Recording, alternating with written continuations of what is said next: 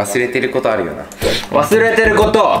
ちょっと待ってちょっと待って。まずこの格好に突っ込もう。普通に入ってるけど。突っ込み忘れた今日はあのトムの日だから、まあ、忘れてることあるよな。ちょっと存じ上げない。究極究極忘れてるな究極！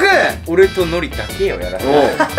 でもすごいいい思い出だね。すごいいい思い出なんですよ。見てる子も楽しいし、意外と終わったらいい思い出っていうまあウィンウィンな動画なんですそうなんだ。なるほどな。そこで考えました。なんやねんやっぱ俺たちって野球心霊とか都市伝説とか、まあ、ドッキリとかいろいろね肩書きありますけど。あるね。野球も結構肩書きついてるじゃないまあそうよね。野球まあ、のイメージ結構長いこと野球やってた人多いし、まあ大輝に関しては元プロ注目選手とか、まあ俺も結構プロ注目ではあったけどね。もう感動るやん。え？野球といえば？コスやん。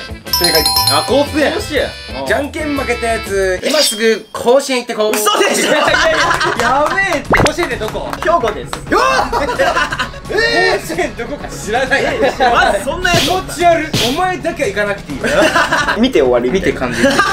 そのために今じゃんけんに決めるのこれそれはやばい。マジで？やばい。不毛不毛。クレイジーすぎる。だいぶ不毛。最初はグー。じゃんけん。はい。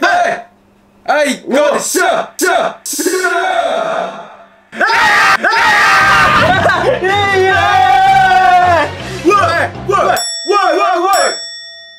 お前だけは甲子園感じなくていいって言っていや俺本当にだから何をやればいい？何を感じればいい？言って感じなさいよ。ターボーがいたからもう一回やった方がいいんじゃない？そうだね。もう一回戦ちゃんとやる。いやいやないないないそういうのないよ。いやいやいやいや怖いよじゃんけんって昔からすごいからもう取ろうね自由としてはじゃんけんって昔からすごいから取ろうねなんで俺えたの俺が俺が考えたんだぞこんなすぐ行く今日こんなすぐ行くもんだから怖っこえマジであの、あれ電車が今時間的にないんであ夜なんでああまあまあまあ夜だね明日出発でいいですかうんまあまあ究極まあまあまあまあまあいいでしょうそこ渋る必要ないから甲子園行くだけか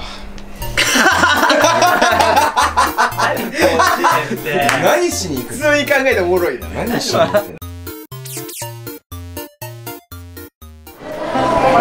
はい東京駅着きました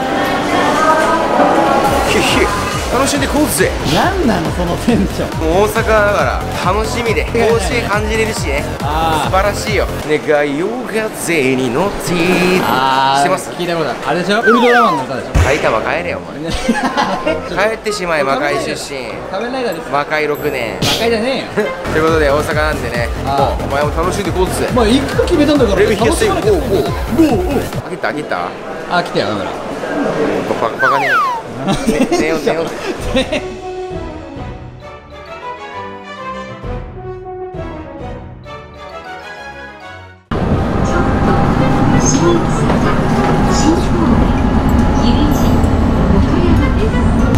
回セットしとんねん。誰ですか？誰ですかじゃねえよ。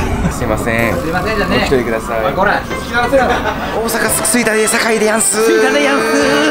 やんすの堺のすけ最高いやーでもテンション上がるね旅ってのは。仲いい。さんがなんか大阪弁だったのがなんかおもろい。ねそう。それダメだかんねダメじゃないから。なんとか並んでくださいじゃないの。並んでください。いいでしょ。分かった。ここが大阪そこだってそういうとこだから。はいということで阪神電車に乗りましてさりげなくもう神戸に入りました。神戸を初上陸なんだ俺も初めてなのよ。これ旅感あるね。いやーいいね。これなのよ。見てるか？恭平。のりお前らは家でって寝てる来た来た阪神甲子園球場来た目の前です。着いちゃったらもう。駅降りた瞬間にまず駅員さんたちが阪神甲子園球場ご利用の方たちはこちらになりますって。そうそうそうそう。アナウンスがはっきり。めっちゃ阪神たちがいる。うわ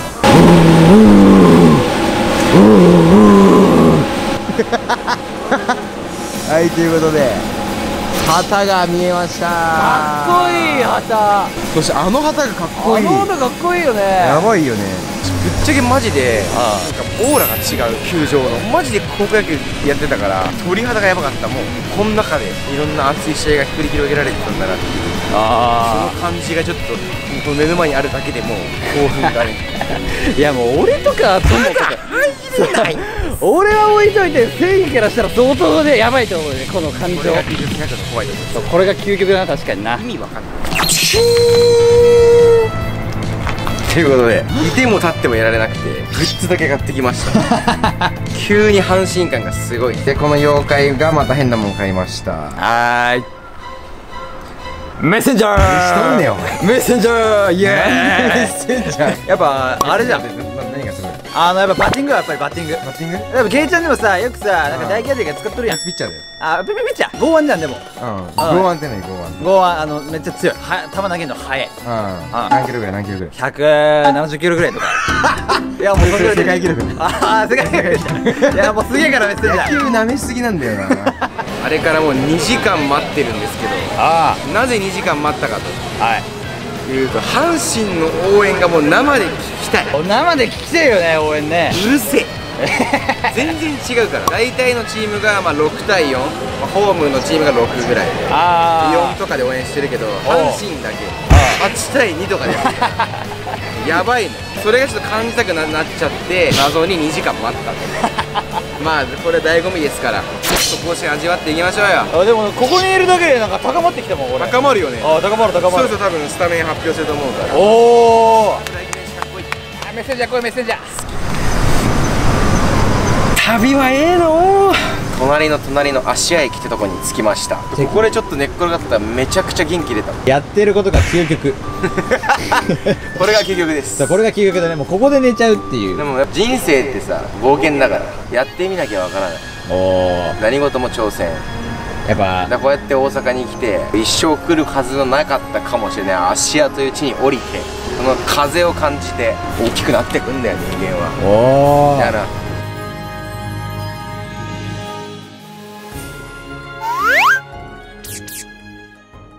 なんか満喫しちゃってますね。なんか楽しんだな。とことん楽しんだななんか。まあ、なぜかというとはい、こうやって翔くんとタマさんが来てくれたということ。なんですかそのペヨンジュンみたいな感じ。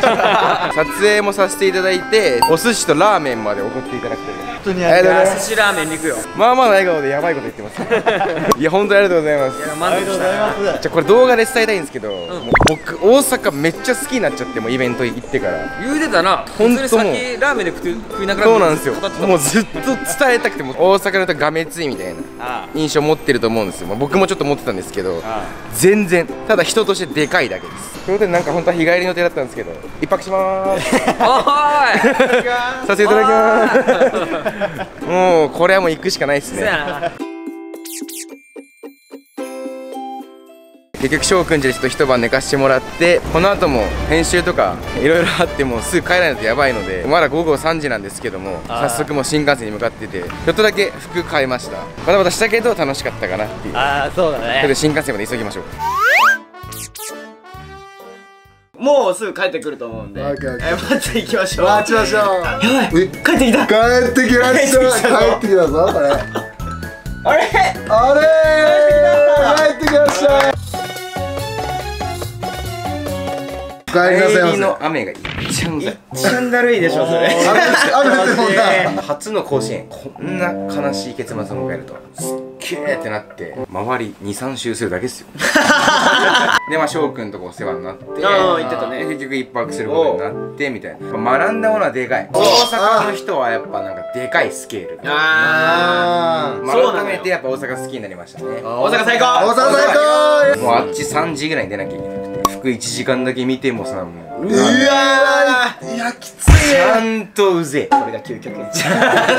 それなんだよこれやねでもやっぱ旅だなっていうのは楽しかった旅感がやっぱすごい。旅よかったやっぱラボはもうずっと旅楽し旅好きだから。り普段見ることない街を見るだけでもねなんかそう。気分がねパッてなるやっぱり。何がいいってやっぱ動画がね。あ動画になった時にさらに思い出になるそうなんだよね。久しぶりに他の YouTuber とコラボしたというか翔くんの肌で感じて、やっぱ100万人超えのストイックさっていうのは素晴らしい。めちゃめちゃもうモチベ上がりました。そうだありがとうございねます翔さん。ありがとうございます。ありがとうございますまあ、皆さんもねなあなあと日々過ごさずにたまにはこうわけのわからないノリで、旅とかしてみたらいいんじゃないでしょうか。いいね。青春ジョアスキップとか勝ったらええねん青春ジョアスキップとかね。お前もう一回行くか？いやだ俺はいい帰れよ からということで皆さん成人してんなとちょっとでも思ったらぜひ高評価チャンネル登録よろしくお願いします。お願いしそれでは次の究極でお会いしましょう。シャイニーシャイニー。輝いてる。輝いてね輝いてるってやめろよどんでる。およどんでる時やめろ。おう。ひたすら夢へと走り続ける。ただがむしゃらに突き進もう。一度きりの人生を楽しもう